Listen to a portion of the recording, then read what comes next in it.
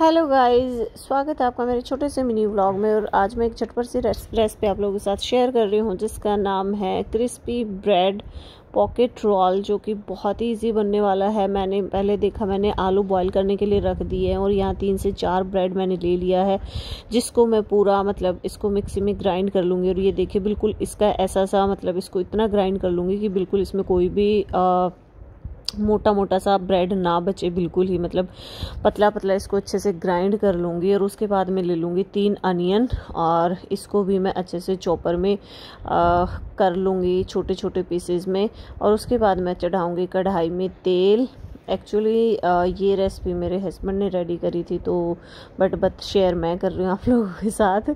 और उसके बाद मैं ऑयल गरम कर लूँगी उसके बाद उसमें मैं डाल दूँगी थोड़ा सा ज़ीरा और ज़ीरा जब थोड़ा सा तड़कने लग जाए आपका रेड हो जाए उसके बाद मैं इसमें डाल दूँगी प्याज। और जो मैंने आलू जो सीटी लगवाई थी उसको छील लूँगी और उसको मैश करके इसमें डाल दूँगी। उसके बाद मैं इसमें हल्दी डाल दूँगी। टेस्ट के अकॉर्डिंग जितना आपको मिर्ची चाहिए उतना मैं इसमें मिर्ची डाल दूँगी। अपने टेस्ट के अकॉर्डिंग आप इसमें नमक डाल ले, कोई भी बहुत ज़्यादा मसाला आपको नहीं डालना है। ब्लैक पेपर है तो आप ब्लैक पेपर डालें, मेरे पास था तो मैंने डाल लिया। रेड चिली फ्लैक्स भी टेस्ट टेस्ट के लिए ही मैंने डाला है, वैसे तो मैंने रेड चिली पाउडर भी डाला था। बट ये थोड़ा अच्छा लगता है और यहाँ पे है ऑर्गेनो पाउडर यहाँ पे मेरे पास था तो मैंने ये भी डाल दिया थोड़ा टेस्ट के लिए ही। अगर नहीं भी है तो भी चलेगा बट अगर है तो बहुत ज़्यादा अच्छा है क्योंकि इसकी टेस्ट बहुत अच्छा आता है इसे और उसके बाद जो है मैं इसमें डाल दूँगी। पनीर। पनीर।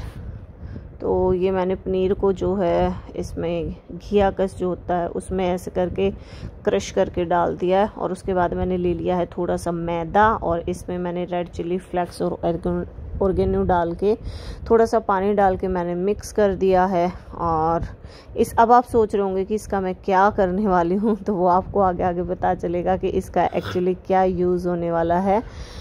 तो जी, उसके बाद हम लेंगे जो ब्रेड थे वो, और साथ में लेंगे चीज़ तो ब्रेड के जो भी साइड वाले कोने हैं उसको हम निकाल देंगे। सबसे पहले मैं यहाँ पे दो ब्रेड ले रही हूँ और ये ब्रेड का छोटे वाला ब्रेड नहीं है, ये जो फुल साइज़ वाला ब्रेड आता है वो है।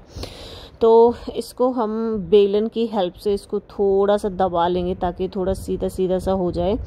ज़्यादा खड़ा खड़ा ना रहे। उसके बाद मैंने इस पर डाल दिया है चीज़ ये देखिए, और जो मेरा मसाला रेडी हो गया था, आलू वाला, वो डाल दिया है। इसको मैं साइड पे इसके जो कोने हैं, जो मैंने अभी मैदे वाला घोल बनाया था, इसके चारों तरफ़ मैं वो लगा दूँगी। बहुत ही ईजी रेसिपी है गाइज़ एक बार आप ज़रूर ट्राई करके देखना और बहुत ही टेस्टी बनती है। और इसके बाद मैंने ये बना के, उसके बाद जो मैंने ब्रेड वाला जो बनाया था, ये वाला, इसमें इसको ऐसे पूरा मिक्स करके अच्छे से ताकि वो क्रिस्पी वाला सा टेस्ट आए और उस घोल में डुबो के मतलब दो तीन बार ऐसे करना है आपको ताकि एक अच्छा सा मतलब आपको लगे कि हाँ मतलब अच्छा सा क्रिस्पी सा बने क्रंची सा। और उसके बाद उसको मैं थोड़ी देर फ्रीजर में रख दूँगी ताकि वो थोड़ा सा टाइट हो जाए।